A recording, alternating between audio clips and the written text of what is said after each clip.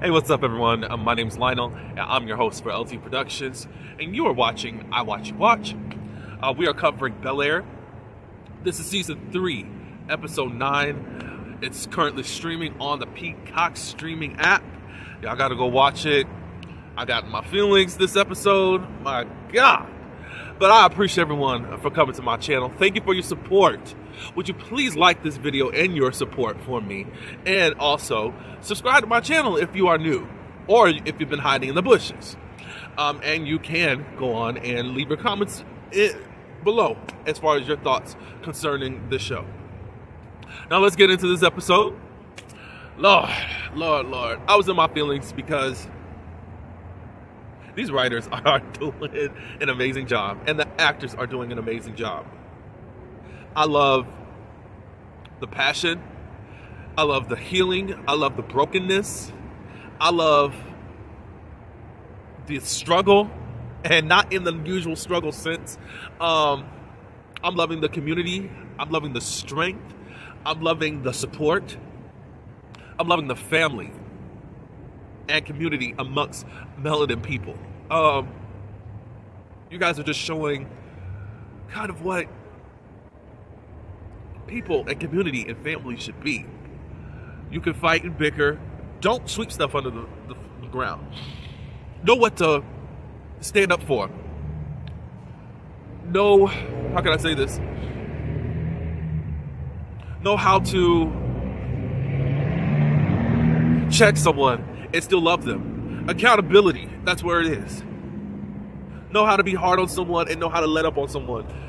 You sh- y'all showing all of that. Y'all, you're showing people's strengths. You're showing people's weaknesses. Uh, you're not showing this in such a traumatic way. Or, I love how the writers, you always just bring this full circle resolution, healing to certain things um, and certain issues that ones are going through. I love it. And I'm sorry, I'm, I'm, emotional because we don't get to see a lot of this representation and a lot of this great writing. It's so rich and it's so timely. Let's stop writing things in such a, a one way, stereotypical way. Um, mundane, uh, we only can be viewed one way. And, and I love it. But whatever. Let me get into this episode. I'm not going to be too long. Um, episode 10, that'll come out possibly tomorrow.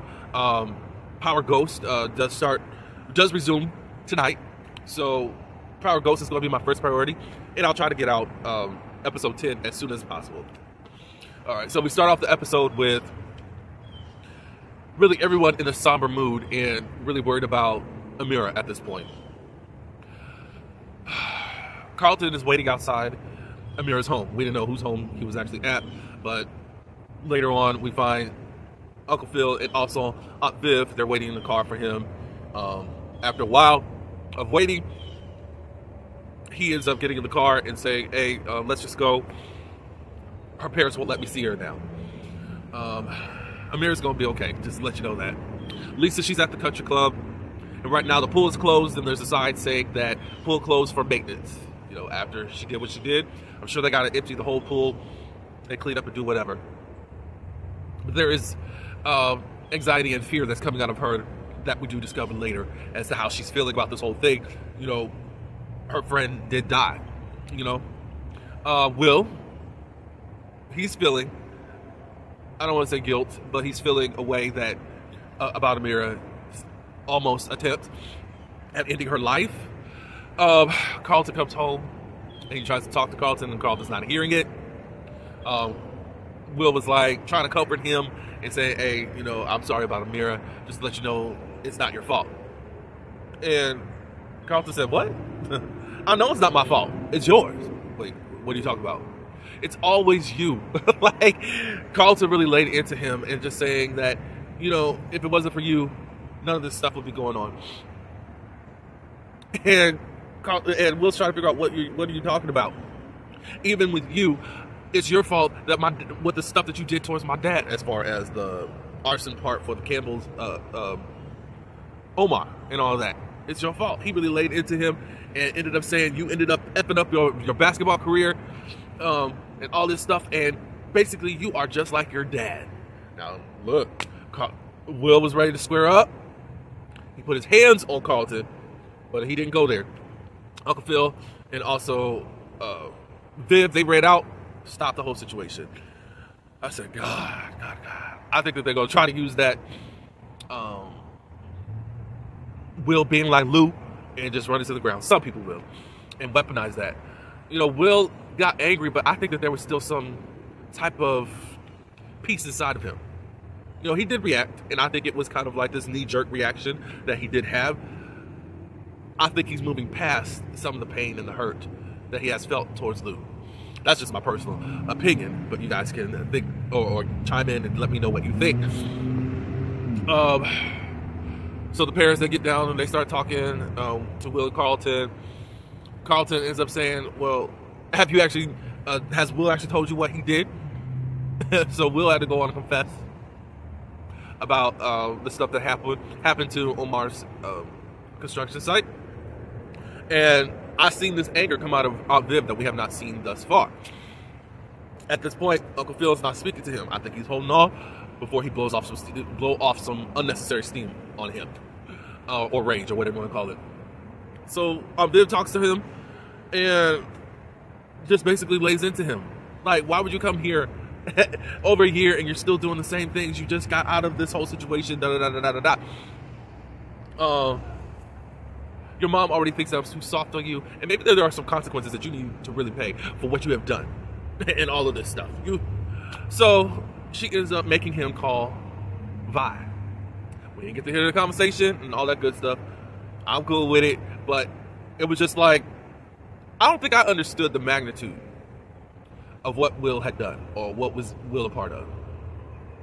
I don't think I did because I was like, okay, I get it, but what what really did he do so much damage to? You know, um, but he is a teenager too. I have to think about that. Um, Aunt Viv does inform Will that uh, Jazz is in jail, and he was like, "Well, Jazz is not the one that did anything. Like, oh, that's why he hasn't been calling me." So after that, what happened? Carlton um, and Will, they just aren't seeing eye to eye I think later on, Carlton goes, he goes and talks to um, Amira's mom. And he was like, you know, I just wanted to check in to make sure she's okay. Uh, Amira's mom said, you know, she's good. She's at peace right now. Da, da, da, da. So they talk, and he says, you know, I know that you guys are really going through something, especially around this time of year. And she said, what? What are you talking about? Well, it's the anniversary of her sister's death. And she said, no. Then we go over to a scene with uh, Lisa and Carlton at the country club. They talk, and he was up saying that Amira doesn't have a sister. Um, something that happened with her involving a car crash, and she got addicted to pain pills. Um, Lisa and Carlton are leaning on each other. Will comes up. Uh, Quentin calls in regards to some type of investment deal or texts him or whatever, and Carl and uh, Will went on and accepted this investment thing. So he goes down to uh, the country club and, and talks with um, Carlton and also Lisa. And he was just telling Carlton, you know, I really feel for Amira and all that. I hope that she's okay. Da da da da da. And then he wants to talk about the business. And then Carlton's like, what? So what you just was talking about was so ingenuine. And basically said, F uh, Black Sis. Because he said, you know, we got the investor, but we need to do da da da da. He's like, no, it's not business as usual. So then he then um, lets it be known that uh, to Lisa, Carlton does, of what happened, or that Carlton was involved with this whole situation down in South LA. At this point, Carlton leaves, and Lisa was like, "What's going on?" and Will started saying, "Like, no, I can't really." Uh, Lisa was like, "I can't really deal with any more of your, you know, like not right now, you know. So basically, they're at uh, uh, inroads at this moment because of the uckery that Will got himself in. I promise, I didn't really see the fallout or the, the magnitude of what Will's involvement in, but seeing everyone's reactions, I, I get it. On the other side of town, in Geoffrey Land, we got Frederick, who's still trying to be in these streets. Um, he's still winning different type of games that he's doing so these guys ended up coming to beat him up, and you were thinking it was something had to do with um, owing some type of bookie or something to that nature. No. So when Frederick comes home, we see well, first Geoffrey and Penelope. They are really in the zone of recapturing what they did have back in the day. And I think Penelope said, "I miss this." So anyways, Frederick comes home. He's got this ice pack or, or sees the black eye, and they ask what's going on. He says it's nothing too much. It was just the bookie stuff. Um, they try to talk to him in regards to that, like you don't really need to be about about this street life or whatever, blah blah blah. Um, later on in the episode, we find out that the deal that Geoffrey was trying to do, or trying to get, uh, as far as recomp- recompense, um, he could not do. Penelope found out that we she had a secret agenda. She was like, earlier in the day, let's just run. and Geoffrey wasn't really feeling that at the moment. Da da da da da. Um, so, so um, later on, they're about to go to this restaurant, and you're seeing Penelope all um, jittery and nervous, and da da da da da.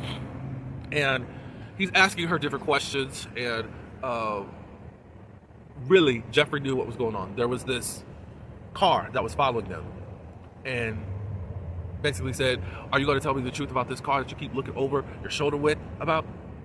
And Penelope said, Look, this is what happened. The deal was broken. They didn't take the deal. And they told me that I got to lead you to him or lead you to them. And they just said that they want to talk. Um, they figure out that Geoffrey, who got beat up, or not Frederick, who got beat up, it was really the people from back in the day, from the organization. So at this point, Geoffrey said, you know, I need you to trust me right now. Can you? And Penelope said, yes. So they disappear and escape these guys. Um, they go home and they talk to Frederick as to what's happening. Um, because before they were trying to get him out of the street life, he, he kind of is enjoying the street life and thinking that it's a, in his blood. Penelope was like, look, this was his past, and he's trying to move forward in his future. This is not Geoffrey, blah, blah, blah, blah. So they give them a rundown as to what is really going on with this organization. Now that we're done on that side of town, I just want to just say this. I love that they gave a family, uh, I'll call it recipe or element to um, Geoffrey. I, I love seeing this new side to him as far as just protecting his family. I mean, it's very similar to how he is with the banks, but it gets more personal when it's your own blood, even though it's very blood related with the banks. You know, um, I think that he would sacrifice his life for either or. his his real his other family and the Banks family. I love it. I love how they gave him this arc. Um, so at this point, on the other side of town, Will is upset. Um, not so upset. He's feeling he's in his feelings about how everyone is upset at him. He goes down to the jail to bail out Jazz, and he brings along Hilary. Um, and was like, well, where'd you get this money from? Um, it's actually from Black Cess. And Black Cess, and was like, what? What are you doing? He said, no, we were going to give you a cut anyway. So that's just that. So while there, him and Hilary kind of talking, and in walks Yolanda Porter. Yolanda Porter is kind of looking at Will a certain way because of Uncle Phil. And then they find out that Hilary is Uncle Phil's daughter, so she's kind of got a little attitude with Hilary in regards to that. Um, Yolanda said, you know, when I heard of your release, um, I wanted to come here and take you home. Now I need to know this, Yolanda. How come you didn't have no funds or anything to get him out of jail? Like, you waited until he got released? like, I, with this whole organization that y'all trying to do, there was no funds for any of this type of stuff that you guys created for destruction. I'm just asking, you know. Um, and I don't hate Yolanda or anything of that nature, but I'm just kind of being critical of certain things, especially when it comes to Jazz and Hilary. So Yolanda takes him home and all that good stuff. Hilary has been planning for her wedding, and Ivy's there to make sure that Hilary does everything in her power to be so bougie about this wedding.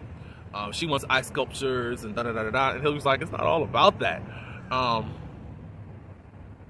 the wedding coordinator said, well, this is pretty good coming from your um, maid of honor. Well, no, Ashley is the maid of honor. And she said, I haven't seen her. when has she been able to come out of daycare to, do this? Da, da, da, da. So she still leaves Ivy in charge when Hilary had to go.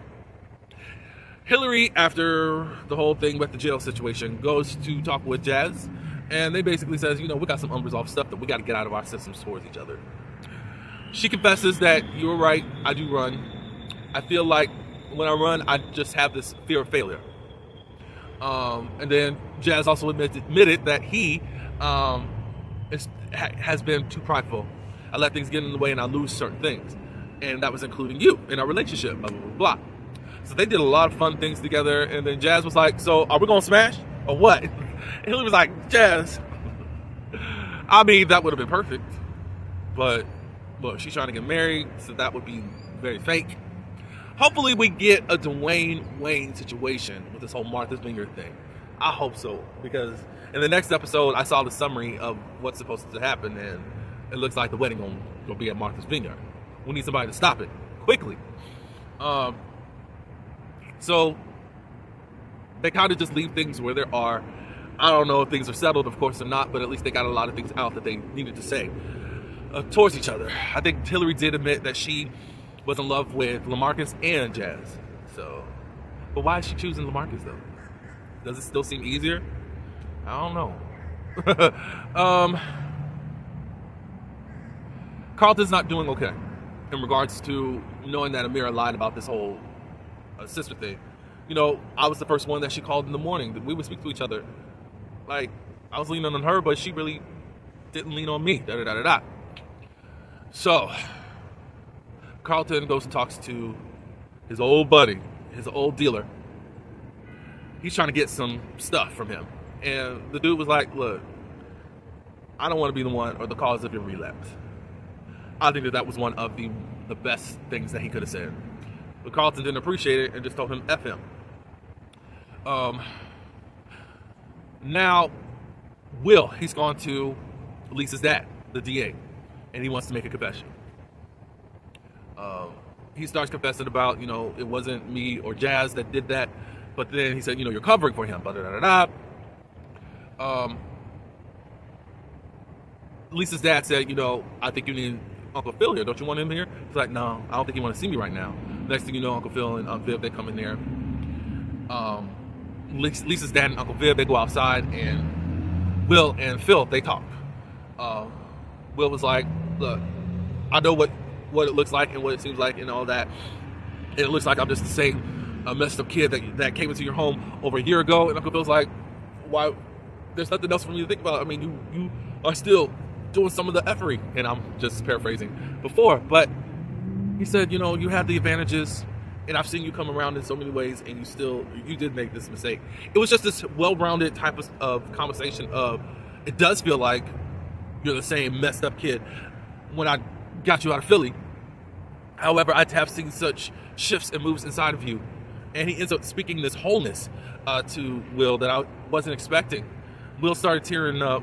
Um, I'm looking like that because Mr. Jabari, you know, worked a little bit more on the tears, but I still felt the emotions or whatever. um, so Phil ends up hugging him. You know, there are consequences to all this. You're still a teenager, so you're probably not looking at, at jail time, but there will be consequences. Um, Aunt Viv and also the DA, they talk. Fred, that's his name. He said, hey, you know, he does thank Vivian for showing up for Lisa. He didn't really understand the magnitude, and I really want you to please keep showing up. Gail would like that. That's the first time he actually spoke of his wife on the show without somebody else bringing her up, you know? And if you have any type of references to help Lisa, I want it, and also for Angela too. So I'm glad that there was a great resolve instead of this black pride, stay out of my house, da da da da da da da. No, Lisa displayed that what goes on in the house stays in the house is not working.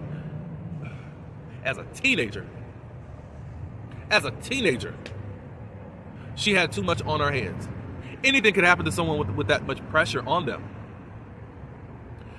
So Carlton does get some drugs. He's in a car somewhere, and we don't know what's going to happen. the next scene is is with, within uh, the, the AA group session, and it's a healing circle. Lisa's there on Viv, on Uncle Phil, um, Will, Fred, they're all there and everyone's just talking, and they talk all these positive things about Amir. Um, did he end up showing up? Did he end up showing up? I think he did. Yeah. Um, but we'll talk about that in just a second.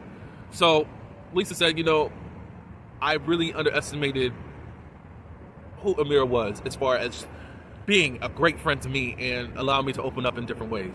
And I'm paraphrasing all that. Carlton at this point did show up. Um, I just want to cry because